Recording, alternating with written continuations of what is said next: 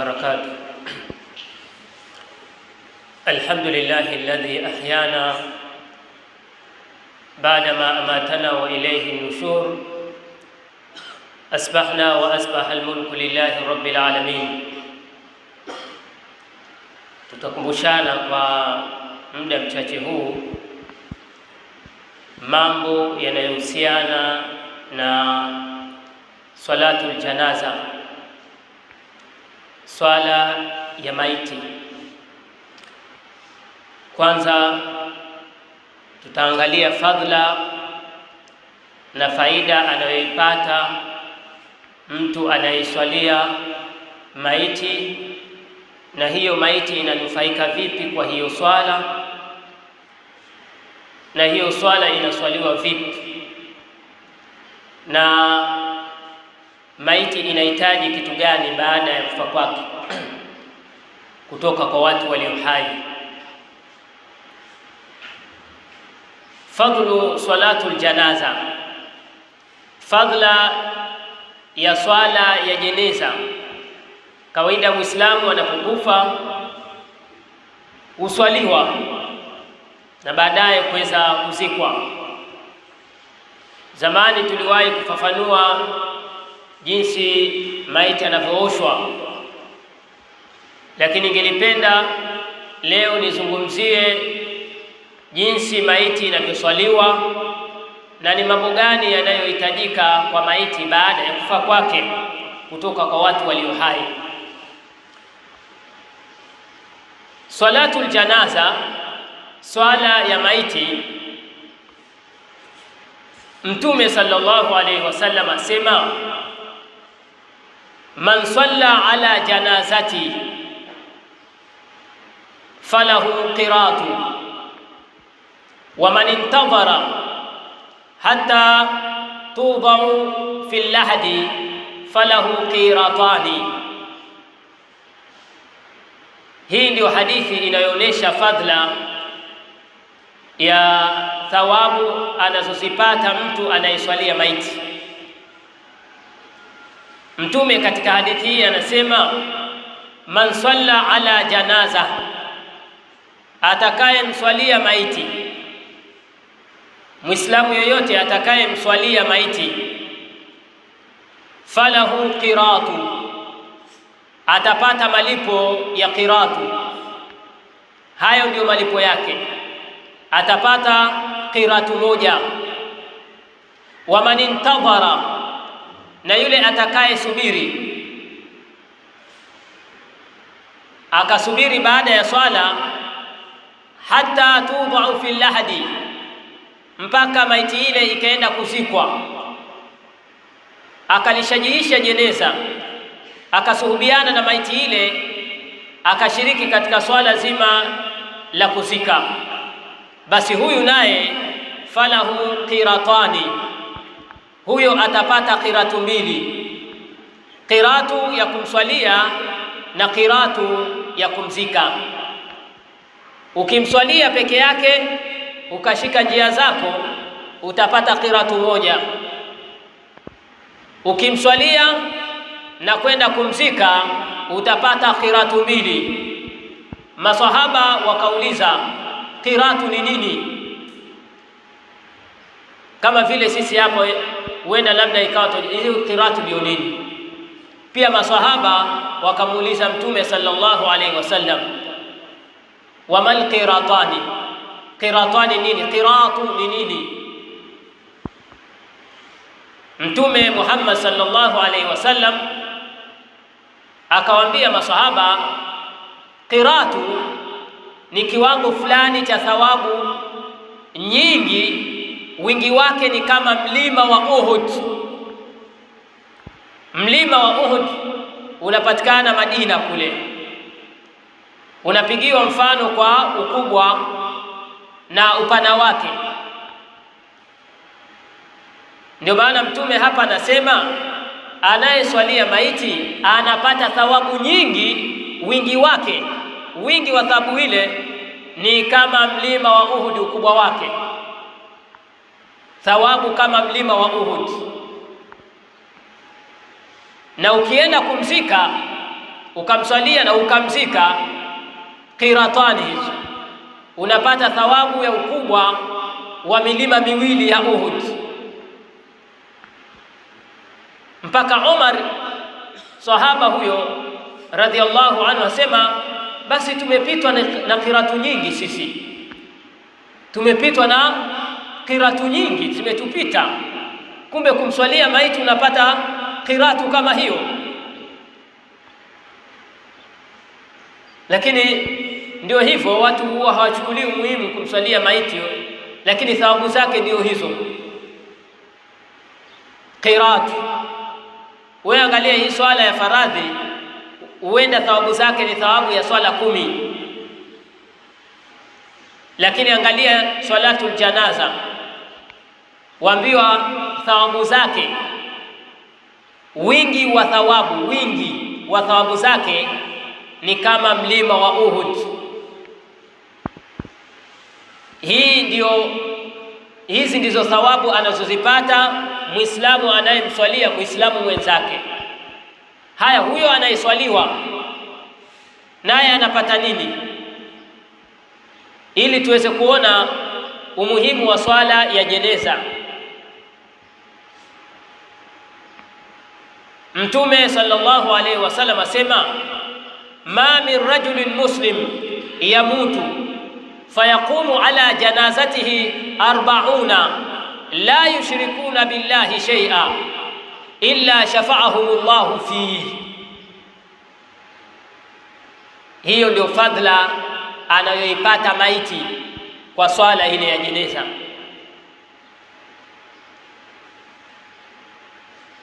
Wapo wafu ambao hawaswaliwi, tuliwahi kutaja kule nyuma. Haya, toib, Mtume Muhammad sallallahu alaihi wasallam asema katika hadithi hii, ma min rajulin muslimin, hakuna mwislamu yeyote yamutu, atakaye kufa, fayaqumu ala janazatihi, akaswaliwa maiti yake arbauna, na watu arobaini, la yushrikuna billahi shay'a wasiomshirikisha Mwenyezi Mungu na chochote, kukapatikana ndani mwa mjumuiko wa watu wale watu arobaini safi, watawa wamo ndani ya swala ile, idadi yao ni arobaini na kuendelea. Wote hawa ikawa wanamwombea dua na maghfira. Huyo aliyekufa, illa shafa'ahu llahu fihi. Isipokuwa Mwenyezi Mungu atakubali dua yao kwake. Wanamwombea maghfira, basi Allah kwa sababu ya uwepo wa wale anafutiwa dhambi yule, ile maiti inafutiwa dhambi zake. Kwa sababu ya uwepo wa wale watu arobaini. Ndio maana hapa inapendekezwa mtu akifa pasubiriwe japo watu waongezeke ongezeke, sio watu wawili watatu tayari atuswalieni haraka haraka tupeleke haraka, maiti inakosa fadhila hii. Kualikwe fulani bana, njoo fulani ambaye anayeonekana katika mwonekano fulani si mshirikina, waalikwe wawemo, ili maiti hii angalau inufaike kwa swala itakayoswaliwa kwa uwepo wa wale watu arobaini.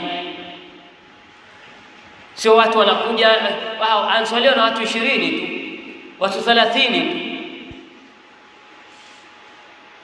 Na hii inakusudiwa sio eti akuwemo mshirikina humo, basi dua zao hazikubaliki kwa sababu ya fulani. Ah, fulani ameharibu, ameingia Ah, maadamu amekamilika arobaini fulani na arobaini, sasa akaja mwingine wa arobaini na moja labda ni mshirikina, Ah, haiharibu hili swala. Unajua wengine walifahamu eti mshirikina akiwemo humo, kwa sababu hadithi yasema ambao hawamshirikishi Mwenyezi Mungu. Kwa hiyo mshirikina akiwemo humo, basi hanufaiki kwa lolote. Bora wamekamilika arobaini, hawa arobaini hakuna mshirikina ndani yake, basi dua yao wanayomwombea maiti shafaahumullahu fi, Allah atakubali dua yao kwake. Kwa maiti inanufaika kwa swala kupitia njia hiyo. Tuje kaifiyatu salat ala aljanaza, maiti inaswaliwaje? Huenda baadhi yetu huwa tunakuja tukasikia sau nini, haya tutasimama hata ajui labda kwasomwa nini. Salatu ljanaza salatu la rukua wala sujuda. Swala ya jeneza ni swala ambayo haina rukuu wala sijida. Kwa hiyo isije ikadhaniwa maiti inaswaliwa kwa kuinamiwa na kusujudiwa. Hii imeitwa swala, yani ni dua, sio eti anaabudiwa. Ile maiti inaabudiwa, inasujudiwa. Ndio maana haisujudiwi wala hairukuiwi, haina rukuu wala sijida. Hakuna haja ya watu kuweka nafasi ya kusujudia. Ndio maana zile swafu zinakuwa unyo kwa unyo. Imamu atasimama upande wa kichwa cha ile maiti, ikiwa maiti ni mwanamme, yakif inda rasihi. Kwa maiti ile inapoletwa, kichwa kinaelekezwa mashariki na miguu inakuwa magharibi, na imamu anasimama upande wa kichwa, sio katikati, upande wa kichwa. Kwa kile kichwa e, jeneza linasogezwa kiasi ya kwamba imamu akisimama anasimama kichwani kwake. Hii ikiwa maiti ile ni ya kiume. Na ni kwa nini anasimama kwenye kichwa? Kuna hikma gani? Aa, ni utambulisho tu wa wale nyuma wapate kujua hivi hiyo maiti iko ni ya kike. Wakiona imamu amesimama upande wa kiume, eh, ni ya kiume kule. Hakuna haja kuulizana, imamu huyo ni wa kike au wa kiume? Tutaka kusoma dua, tusome za kike au za kiume? Wewe ni kumwangalia imamu kasimama wapi? Oh, amesimama upande wa kichwa, ni, ni jeneza la, la mwanamume. Basi hakuna mambo mengine. Ni hiyo tu, yani kama kiashiria cha kuonesha huyu ni mwanamme, ndio maana nimesimama upande wa kichwa chake. Ama almar'a, ama ikiwa ni mwanamke, fayaqifu inda sadrihi sadriha au inda wasatiha, atasimama upande wa kifua chake au katikati, atasimama katikati ya ile jeneza au karibia na kifua chake, ikiwa ni mwanamke. Kwa nini anasimama hapa? Ili kama kiashiria au kitambulisho kule nyuma, jamanini, huyu ni mwanamke, ndio maana nimesimama hapa. Thumma yukabbir arbaa takbirati, kisha swala ile inakuwa na takbira nne. Zipo riwaya ya takbira zaidi ya nne, lakini mapokezi ya yanayopendekezwa na iliyozoeleka kwa Mtume sallallahu alaihi wasallam, swala ya jeneza ina takbira nne. Fayukabbiru takbirata alula, atapiga ile takbira ya kwanza, Allahu akbar فيقرأ الفاتحة قبل آه، بعد الاستعاذة والبسملة. كيشا أتبقى أعوذ بالله من الشيطان الرجيم. بسم الله الرحمن الرحيم. أتصوم سورة الفاتحة. بسم الله الرحمن الرحيم. الحمد لله رب العالمين. الرحمن الرحيم. سورة الفاتحة. بكياكي. هكو صومي سورة جنينو sio swala ndefu hivyo.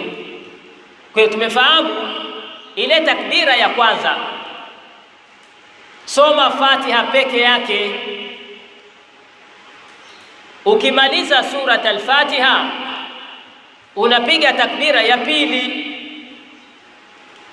Ukishapiga ile takbira ya pili, tuswali ala nabii sallallahu alayhi wasallam, unamswalia mtume sasa salatu al-ibrahimiyya اللهم صل على محمد وعلى آل محمد كما صليت على إبراهيم وعلى آل إبراهيم وبارك على محمد وعلى آل محمد كما باركت على إبراهيم وعلى آل إبراهيم. إنك حميد مجيد.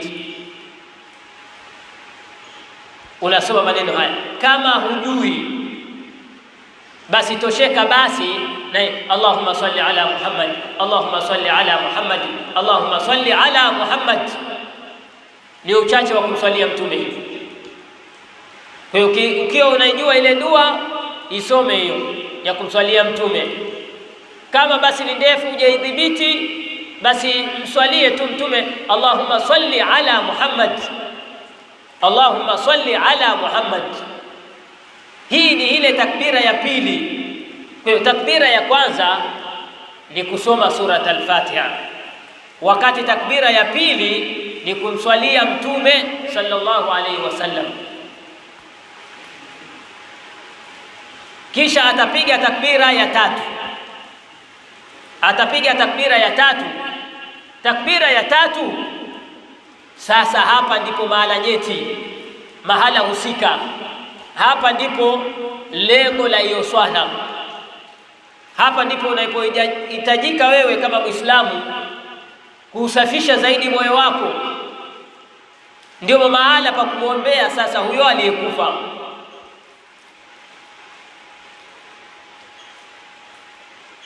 fatusalli fatad'u ala almayit, tad'u lahu, unamwombea mwombee dua, ndio mahala pa kumwombea dua, sio watu Allahu akbar Allahu akbar Allahu akbar, isha isha swali, hata hujamwombea dua. Huenda mimi nina uhakika baadhi yetu huwa hatujui hata mahala pa kumwombea maiti dua. Anaombewa katika takbira ya ngapi? Na kama anaombewa anaombewa vipi? Kwa maskini, utapata labda watu ameswaliwa na watu wengi, lakini labda ni wachache waliomwombea. Kama tadilu tuda vile unamfanyia mwenzako utafanyiwa na wewe hivi. Si leo umejumuika katika swala, wewe wapiga tu Allahu akbar, Allahu akbar, kisha ondoka, eti umemwombea. Unataraji na wewe ukifa ufanyiwe hivyo hivyo? Kun mukhlisan, fungua moyo wako eh, kuwa mnyenyekevu, omba kwa Mwenyezi Mungu kwa unyenyekevu, hasa Mwenyezi Mungu aka msame huyo aliyekufa. Sababu mtu ufa ghafla na madhambi yake. Haya madhambi yatafutwa na nani?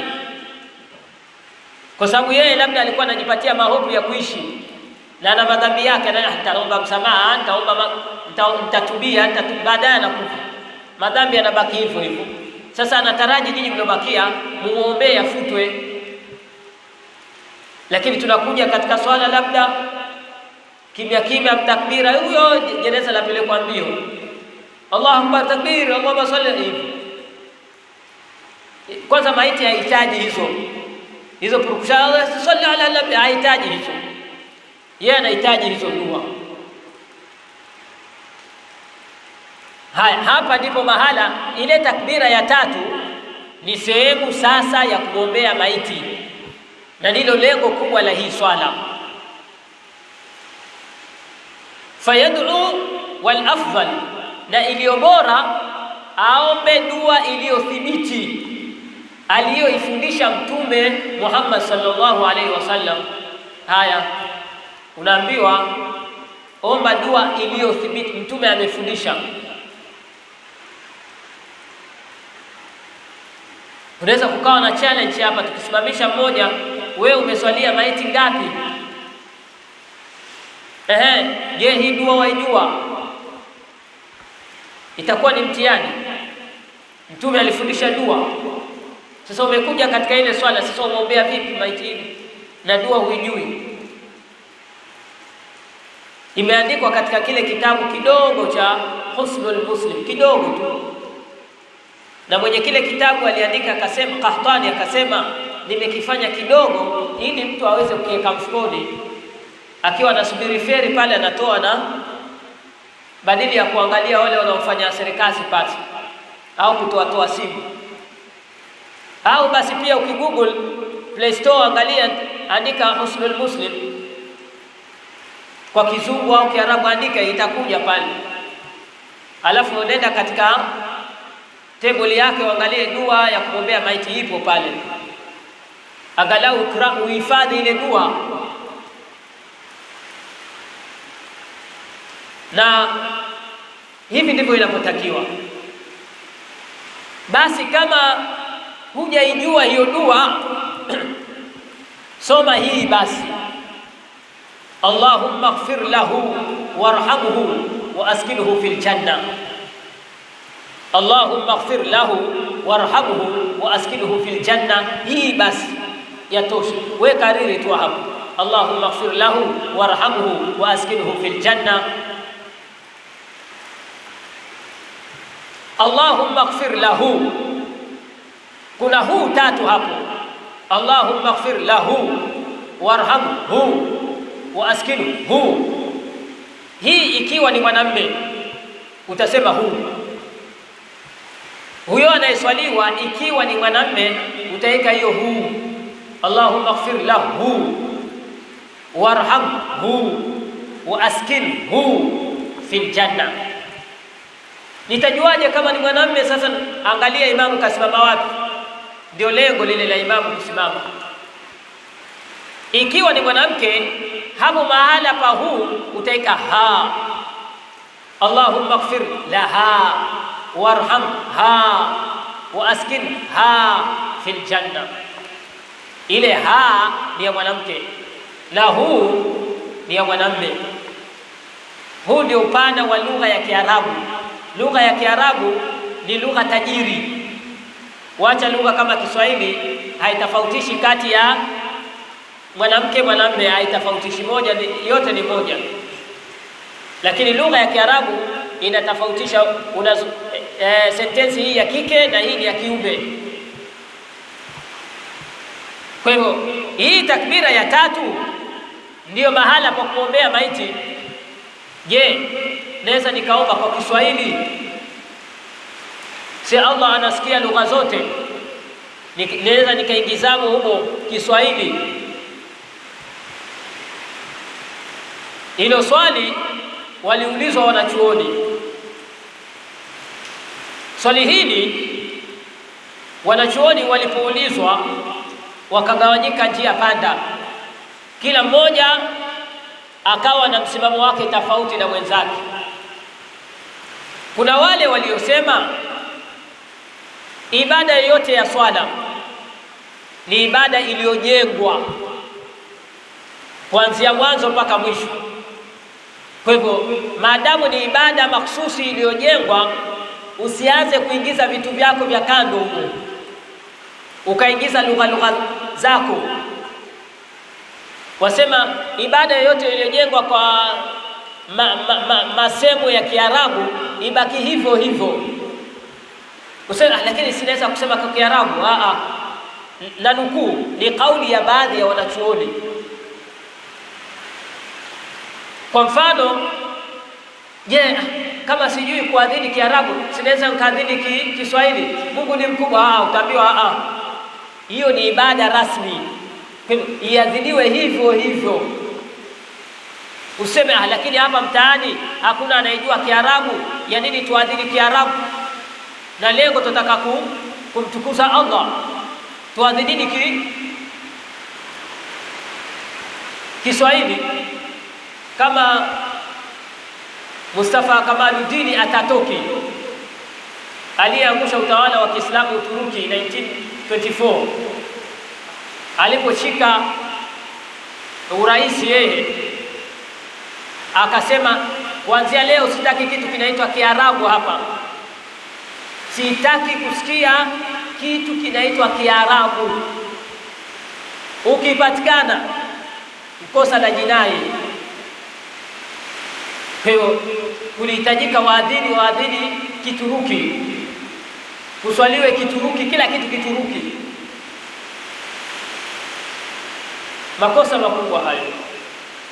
Ibada iliyojengeka kwa Kiarabu haitosemwa, lakini swala tunaswali, imamu anasoma Fatiha, watu huku nyuma hawafahamu kwa hivyo isomweni Kiswahili ili watu wafahamu. Utaambiwa ibada imejengwa hivyo hivyo, iliyojengwa iwachwe hivyo hivyo. Ni kweli watu wanahitaji kujua maana ya kinachosomwa, lakini maadamu ni lugha imejengeka katika dini hivyo, itasomwa hivyo hivyo. Usiseme nitarukuu mimi nilete rukuu, zile dua za rukuu, subhana rabbiyal azim kwa Kiswahili Ah, utaambiwa ah, leta hivyo hivyo kwa Kiarabu. Ni, ni ibada imejengeka hivi. Au tuseme Qur'ani tuifute maandishi yake yote ya Kiarabu tuandike kwa kwa Kiswahili kama vile Bible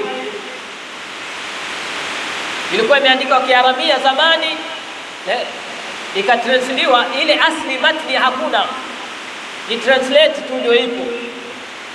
Ataambiwa a Kiarabu lazima kiwepo, alafu kama wataka kutafsiri huku kando, lazima Kiarabu ibaki hivyo hivyo. Qur'ani isomwe hivyo hivyo Kiarabu, haitosomwa kwa Kiswahili, isomwe na Kiarabu. Kwa maana hiyo wakasema swala iswaliwe kwa Kiarabu, usiingizemo Kiswahili. Na ndio maana wakasema, wewe kama una dua zako unataka kuomba kwa Kiswahili, subiri swala iishe, ushapiga salamu, so omba dua zako kwa lugha yoyote ile, omba. Lakini inapokuja ndani ya swala, aa, swali vile vile, zile dua alizofundisha Mtume uzisome hivyo hivyo. Hii ni kauli ya baadhi ya wanachuoni. Wengine wakasema swala ya faradhi adhuhuri, alasiri, magharibi, shai, asubuhi, hizi swala tano hizi usiingizemo lugha yoyote, iswaliwe hivyo hivyo. Ama kama ni swala za sunna, basi unaweza ukasoma dua kama unataka uko katika sijida, unataka kumwomba Allah, basi unaweza ukaingizamo lugha yako. Hii ni kauli ya baadhi ya wanachuoni. Wengine wakasema ah, unaruhusiwa kuomba dua kwa yule ambaye hajui lugha ile, lakini dua atakazoomba ni dua zile alizozitumia Mtume. Sasa aziseme kwa Kiswahili ikiwa hajahifadhi, lakini asitengeze dua zake kivyake, akatengeza akaingiza ndani ya swala. Almuhimu, purukushani zote hizi ni afadhali. Hapa ndipo panaonekana umuhimu wa Muislamu kusoma dini yake. Almuhimu, wewe soma hii dua fupi tu, Allahumma ighfir lahum warhamhum wa askinhum fil janna. Kwa hiyo takbira ya kwanza tumesema unasoma surat al-Fatiha. Takbira ya pili unamswalia Mtume. Takbira ya tatu unamwombea dua maiti dua iliyothibiti kutoka kwa Mtume, na kama huijui soma hii tu, Allahumma ighfir lahu warhamhu wa askinhu fil janna. Alafu utapiga takbira ya, ta, ya nne. Sasa hii takbira ya nne, taskutu qalilan, unatulia kidogo, kisha unatoa salamu. Hakuna kinachosemwa hapo. Allahu akbar Salamu alaykum rahmatullah, salamu alaykum rahmatullah. Basi swala ya maiti inakuwa imeisha. Tufahamu hivyo. Takbira ya kwanza nasoma surat al-Fatiha, Allahu akbar, soma Fatiha. Ukimaliza usomi sura nyingine, usisome sura nyingine. Kishamaliza wala dhalin, amin, Allahu akbar, Allahumma salli ala Muhammad Salli ala Muhammad, Allahumma salli ala Muhammad. Allahu akbar. Ya tatu, Allahumma ighfir lahu warhamhu wa askinhu fil janna. Ikiwa ni mwanamke, Allahumma ighfir laha warhamha wa askinha fil janna. Alafu napiga ile ya nne, Allahu akbar, husemi chochote, na hapo kwa hapo unatoa salamu kulia na kushoto, kuanzia kusimama kwako mpaka kumalizika. Je, ni lazima nitawadhe?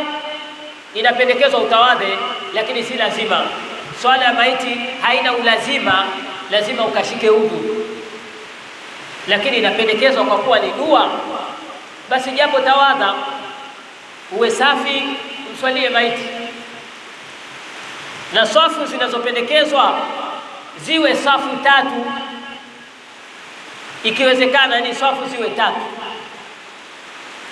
Basi kama watu ni wengi, basi hapo inaweza ikazidi, kwa sababu hakuna haja watu wapange laini ya kwanza alafu kuwe na spesi laini ya pili. Aa, watu wasimama unyo kwa unyo karibia hivi, Haku, hakuna nafasi ya kusema nitasujudu, kwa sababu hakuna kusujudu wala kurukuu.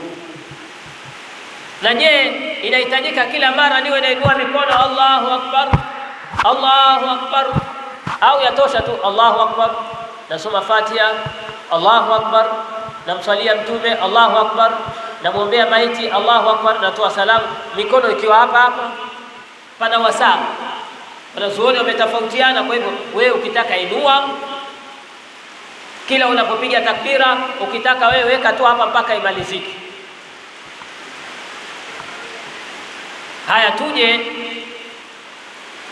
Swalatul janaza alghaib swala ya jeneza ya maiti isiyokuwepo, ameliwa na simba, kateketea mpaka mkoajivu hayupo, amezama maji.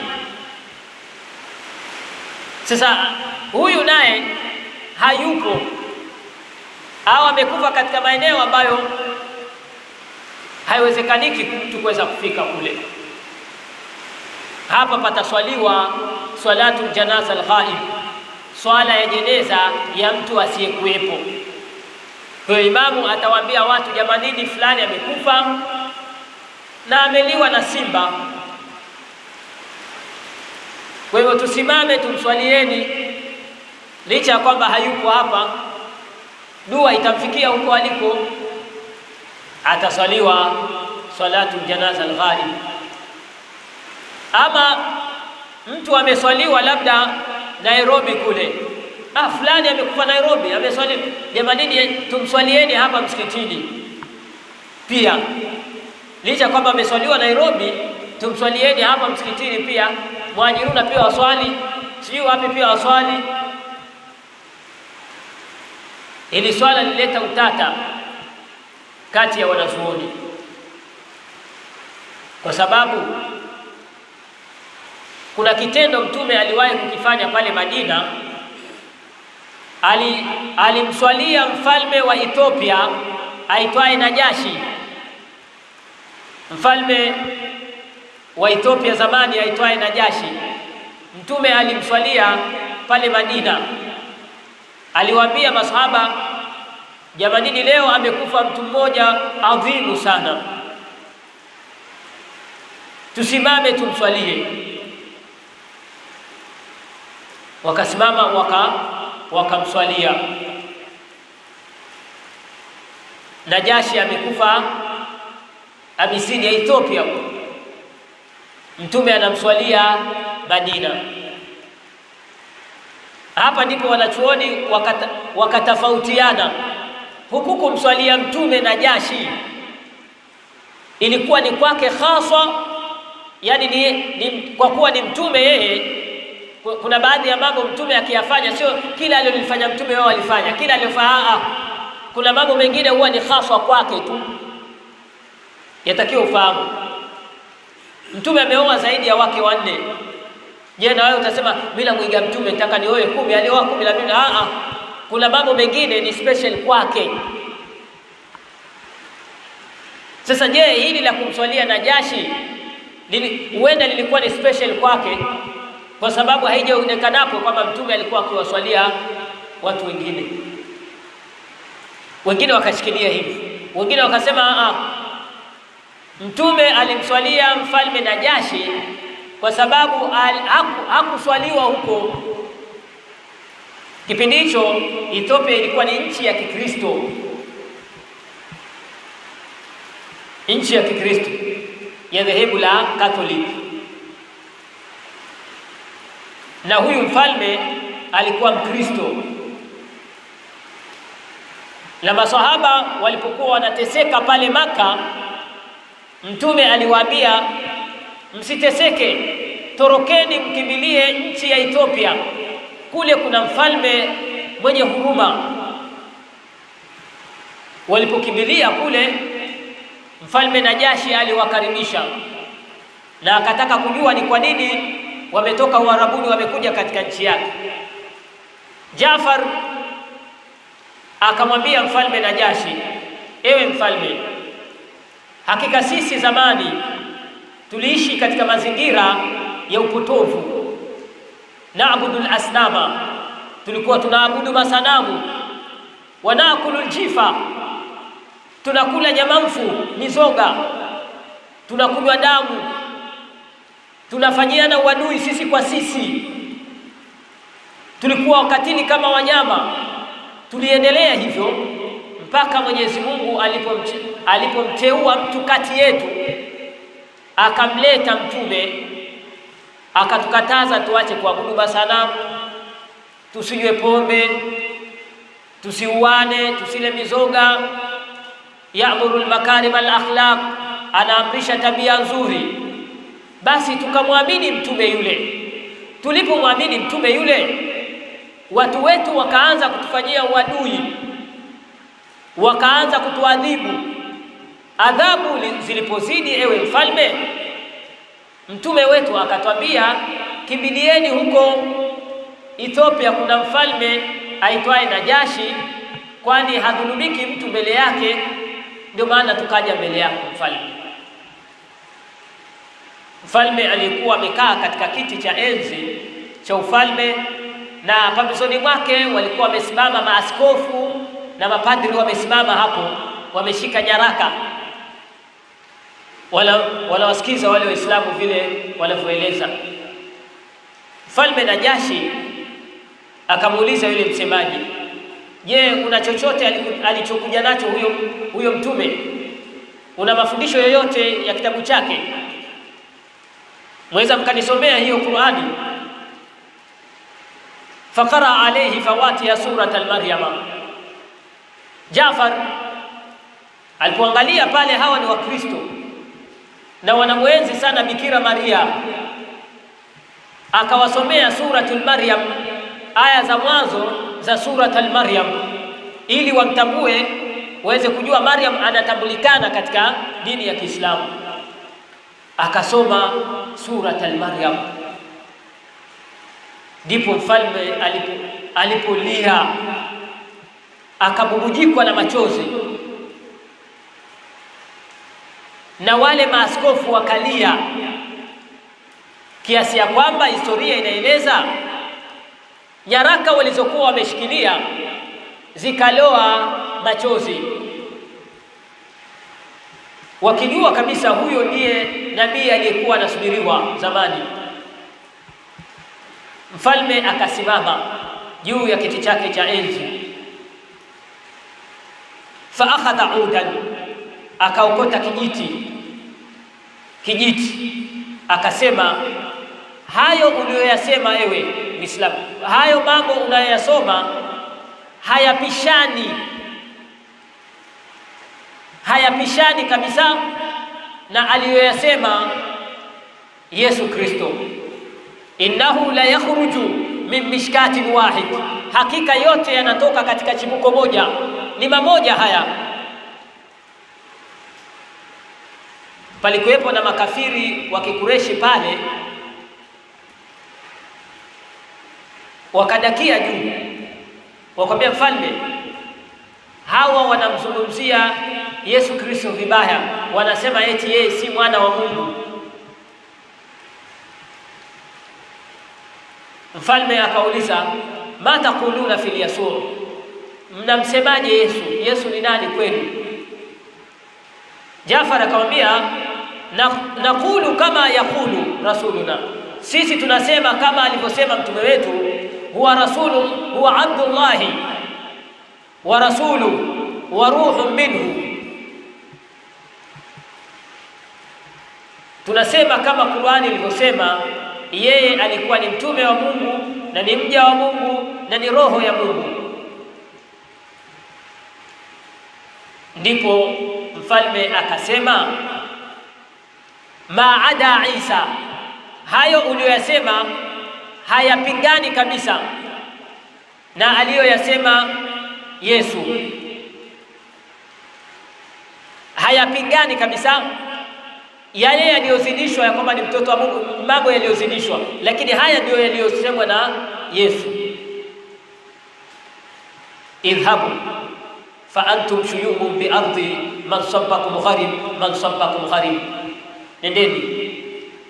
Nendeni, nyinyi mtapata amani katika nchi yangu, kaeni mahala popote mnapotaka kukaa. Man sabbakum gharib man sabbakum gharib, yani anakusudia sio Kiarabu hicho, anakusudia ni Kiabeshi, anakusudia yule atakaye waudhi atajuta. Kwa hiyo wakaishi kwa amani, na riwaya zinasema akaingia katika Uislamu na jashi mpaka kukateremka aya zinazomuhusu huyu bwana huyu mfalme. Allah asema katika Qur'ani latajidanna ashadda nnasi adawatan lilladhina amanu, utawapata watu ambao ni maadui sana kwa Waislamu, alyahuda walladhina ashraku, ni Mayahudi na wale washirikina. Walatajidanna aqrabahum mawadda, utapata watu walio na urafiki wa karibu sana na Uislamu, alladhina qalu inna nasara, ni wale wanaosema sisi ni Wakristo. Dhalika, hiyo ni kwa kuwa dhalika bianna minhum kisisina wa ruhbana, hiyo ni kwa kuwa ndani yao kuna maaskofu na kuna watawa. Wa annahum la yastakbiruna, na ya kwamba pindi wanapoiona haki hawafanyi jeuri wala silimu. Wa idha sami'u ma unzila ila rasuli tara a'yunahum tafidhu min ad-dam, na wanapoyasikia maneno yaliyoteremshiwa Mtume Muhammad utaona macho yao yanabubujikwa na machozi alikuwa anakusudiwa hao. Sasa baadaye Najashi alikufa, habari zikamfikia Mtume. Mtume akasema amekufa mtu mtukufu, tumswalieni. Wakasema huenda kule alizikwa maziko ya Kikristo, hakuswaliwa sababu Waislamu walikuwa hawako kule kipindi hicho. Najashi amekufa katika mazingira ya Kikristo, kwa hivyo amezikwa Kikristo Mtume kule ndio maana akamswalia. Kama leo mtu anaweza akasilimu na hakutambulisha kwa familia yake, amesilimu, familia yake inajua mwenzetu huyu bado Mkristo, na wala hakufuatilia kutaka kupata cheti cha kusilimu. Baadaye anakufa, familia inakuja inamchukua ikamzike Kikristo. Waislamu ah, Uislamu ah, ah, si twajua ni Mkristo, leteni cheti. Hakuna cheti, kwa hiyo anaenda anasikwa Kikristo, haswaliwi kule. Ndivyo walivyozikwa Najashi, ikabidi mtume amswalie, na Muislamu anayezikwa hivyo inabidi aswaliwe. Ni kweli amechukuliwa, amepelekwa huko, amezikwa Kikristo, na hiyo ni kwa sababu yeye mwenyewe hakutoa taarifa kwa tabuli, jamanini, mimi nikifa nizikwe Kiislamu na haya ni mambo yanatokezea. Kwa hivyo anaweza kuswaliwa mtu asiyekuwepo swala ya jeneza. Na yule aliyepitwa, umekuja ukapata fulani kashazikwa, ashaswaliwa, kashazikwa, na wewe umekuja, je, unaweza ukamswalia? Naam, unaweza kumswalia. Unaenda kaburini kule kule alikozikwa, unamswalia huko Mtume sallallahu alaihi wasallam alikuwa kila mara anapoingia msikitini alikuwa anamuona mwanamke mmoja kazi yake afagia msikiti, akiona takataka afagia. Kila akiingia msikitini anamuona afagia msikiti. Hakuna siku alikuwa akimkosa. Baada ya masiku kadhaa, Mtume alimkosa yule mama. Kwa kwanza ameingia hayupo, yeye mwenyewe alikuwa amejitolea ku, ku yani tukhrijul kumama, anatoa zile taka za msikiti. Fasaala anha, Mtume akawaulizia masahaba, mbona mama fulani hivi simuoni? Yule alikuwa akifagia fagia msikiti. Akaambiwa tokea juzi alikufa yule, alishazikwa, alikufa. Ah, mbona hamkuniambia mimi? Na mimi nikaenda kumswali, nikajumuika katika swala yake, mbona hamkuniambia? Akatoka haraka, nionyesheni kaburi lake alikozikwa. Akaondoka Mtume sallallahu alaihi wasallam, akaenda kumswalia sahibatul qumama. Alikuwa anaitwa sahiba, yani mfagia msikiti, mama mfagia msikiti. Mtume aka lazima nikamswalie yule mama, akaenda akamswalia kule kaburi. Kwa hivyo kama umepitwa na salatu janaza, ndio ishapita hivyo, unaweza ukaenda kumswalia. Aya, tumalizie ya mwisho, mambo anayohitaji maiti baada ya kufa. Maiti, maiti mtu aliyekufa anahitaji kitu gani kutoka kwetu sisi? Anahitaji vitu vitano. Tusiwasahau wafu wetu huko waliko, wanatutegemea sisi huku. Vitendo vyao vilikwisha simama. Wapo watu wameshazikwa, wamesaulika kabisa, hata mtu akumbuke. Kumbe wanahitaji vitu vitano. Kitu cha kwanza, aswadaka. Maiti inahitaji sadaka, si siku moja wala si siku mbili, itolewe sadaka, sio tu siku ile watu wamezika ndio atolewe sadaka siku hiyo alafu yasaulika. Inahitaji sadaka, wala isifanywe ni siku fulani maalum kama inavyofanywa usiku wa kuamkia Ijumaa, sababu zilikuja mapokezi hikaya ambazo hazina sana, ni kwamba wanapokea sadaka zao kila usiku wa Ijumaa. Kwa hiyo watu wakaona afadhali tuwe tunatoa sadaka ule usiku wa Ijumaa za wafu. Aa, anahitaji sadaka wakati wowote. Tia nia unapotoa sadaka yako, mjumuishe pia na fulani wako, hii sadaka ya fulani imfikie, inaitamfikia. Ama swala la watu wamezika, wanarudi tena kula pale, wanafilisi, itakuwa ni makosa. Nani amekwambia urudi kwa wanafamilia ukale tena pale?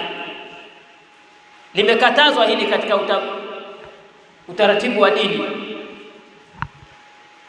Mtume sallallahu alaihi wasallam alikuwa anawaambia isna'u li ala Jaafari, watengezeni waliokufa chakula, nyinyi ndio mpeleke huko, mpeleke chakula huko, sio nyinyi mkale.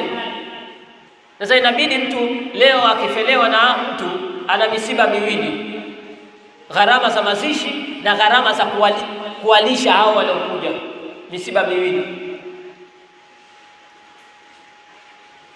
Wengine walipoenda kuzika, shekhe mmoja akasimama, jamanini, tushazika, kila mmoja ashike njia kurudi nyumbani. Ah, maziko gani haya?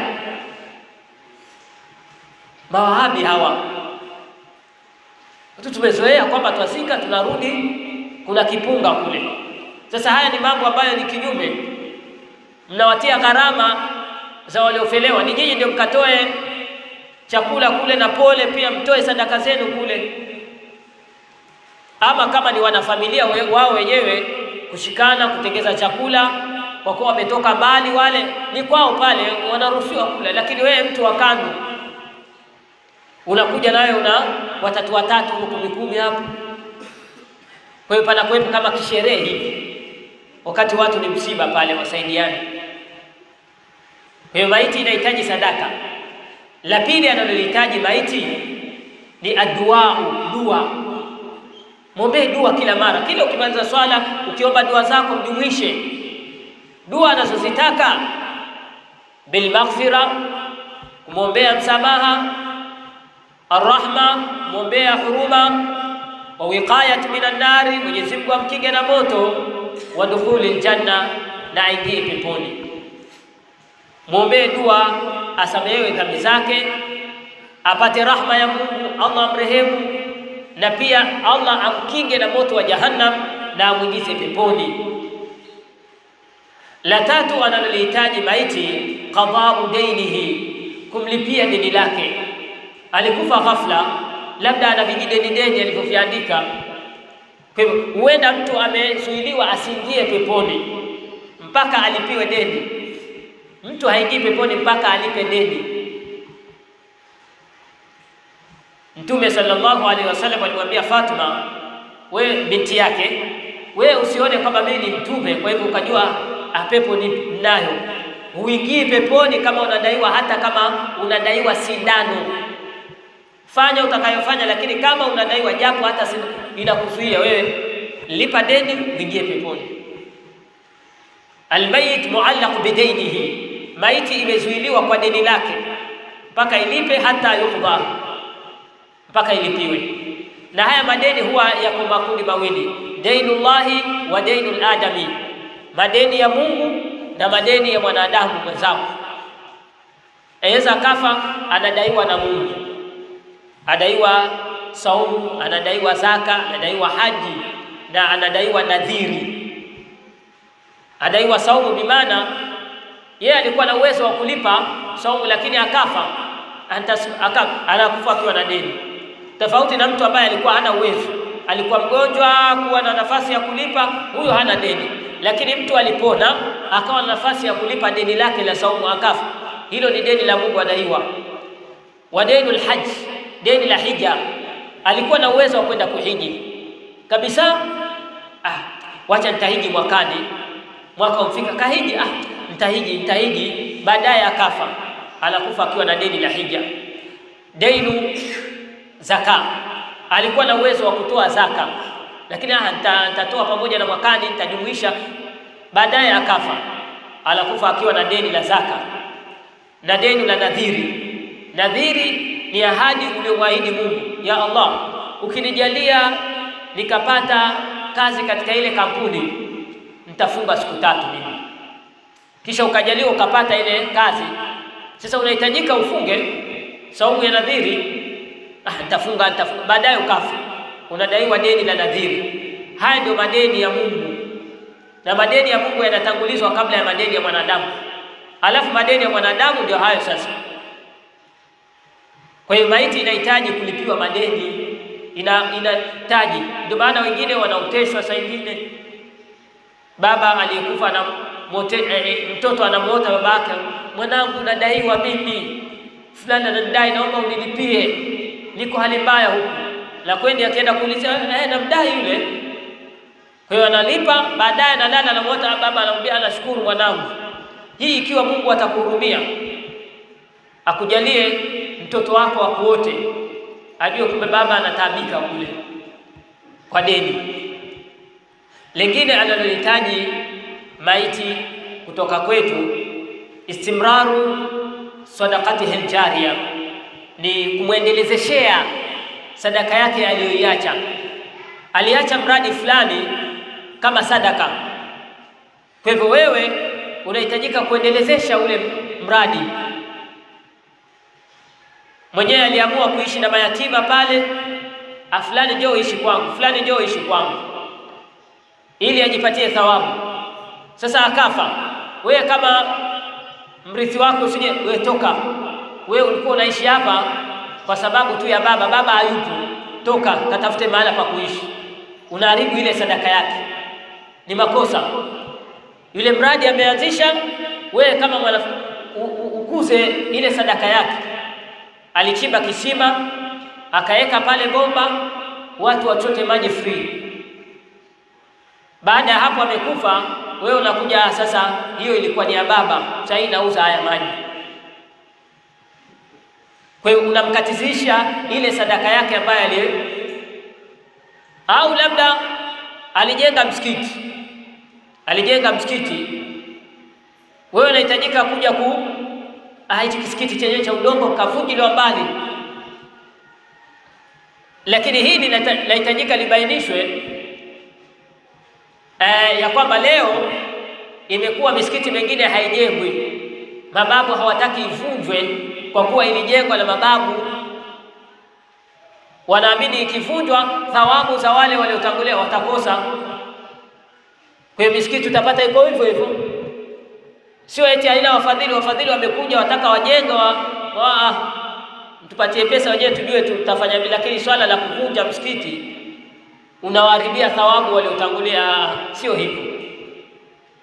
Thawabu itakatika ikiwa utavunjwa msikiti alafu ukajengwe mahala pengine, lakini kama ni hapo hapo, maadamu wao ndio waanzilishi, basi ni sawa, msikiti unaweza ukavunjwa kwa ajili ya upanuzi, na wao bado watahusika katika mchakato mzima wa thawabu, kama vile msikiti wa Mtume sallallahu alaihi wasallam. Ukienda sio vile ulivyokuwa, ulikuwa ni msikiti wa udongo, paa lake ilikuwa ni ndifu zile au minyaa ma, ma, matawi ya, ya mitende, lakini ulivunjwa ukapanuliwa, ukawa tutasema mtume amekosa thawabu? Maadamu yeye ndio mwanzilishi wa pale na ukajengwa, bado ni sadaka inaendelea hiyo. Kwa maiti inahitaji, kama unajua baba yako alikufa na alikuwa na mradi fulani anaufanya, anapenda kutembelea maskini akiwapa, ni, ni vizuri wewe ku, kuendeleza ule mradi unamfikia kule. La mwisho analolihitaji maiti ni kusamehewa, ni kusamehewa. Wewe unajua kabisa ulimkosea, alikukosea. Kwa hiyo huenda kule anataabika kwa sababu ya kwamba kweli alikukosea kihakika. Wewe inahitajika msamehe, huenda akafunguka huko aliko. Kuna visa vingi tu vya kutolewa hapa, lakini muda ni mrefu, ni, ni mchache. Lakini kuna mambo mtu anaota kwamba amezuiliwa, yuko katika adhabu kwa sababu alikosana na fulani, mpaka apate msamaha kutoka kwa fulani. Hiyo fulani anaota, nenda kwa fulani, nilimkosea, ninazuiliwa huku mpaka nisamehe mimi. Kwa hiyo anakuja anamuuliza, wewe uliwahi kukosana? Eh, alikosea, aliniambia nisikanyage kwake, akanitukana, akaniambia hivi, na mimi ni dada yake wa wa karibu, na mimi kamwachia Mungu. Kwa hivyo nimemwona katika usingizi ananiambia hivi na hivi na hivi, anaomba umsamehe. Kwa hiyo anamsamehe, baadaye anamuota asema nashukuru, sahihi imefunguka. Kwa maiti pia inaombwa isamehewe eh, kama ilikosea isamehewe. Ndio maana pale ikiletwa pale jamanini, kama kuna mtu alikosea, tunaomba umsamehe huyu. Haya ndio mambo matano anayohitaji maiti. Subhanakallahumma bihamdika ashhadu an la ilaha illa anta wa nastaghfiruka wa natubu